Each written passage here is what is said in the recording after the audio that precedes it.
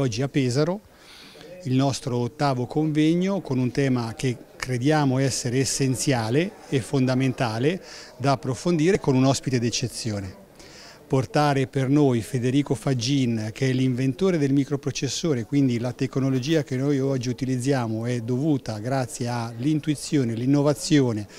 la determinazione di un imprenditore veneto che tanti anni fa nella Silicon Valley ha iniziato a costruire un impero e delle innovazioni di cui tutti noi oggi usufruiamo, quindi portare a Pesaro nelle Marche, la prima volta nelle Marche un imprenditore così importante direttamente dalla Silicon Valley credo che sia il giusto omaggio a una città importante come Pesaro. Il messaggio è di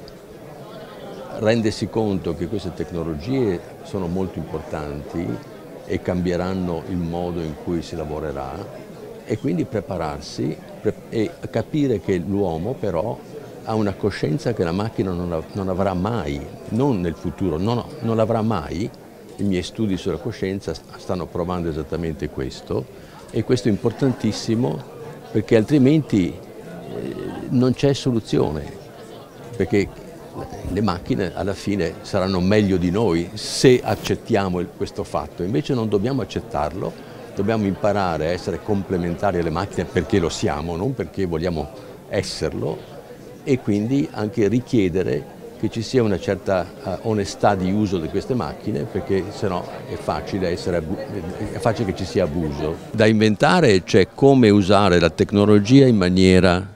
in maniera che sia per il bene comune invece di usarla per far soldi e basta e questo per me è molto importante perché c'è sempre questa tendenza di, fare, di, andare in questa strada e quindi abusare della tecnologia, per esempio usarla per, per armi ancora più, più, potenti, cosa che purtroppo si fa sempre. E quindi, e quindi la tecnologia sempre, è un'arma a doppio taglio e bisogna imparare a usarla prima che sia troppo tardi, usarla bene.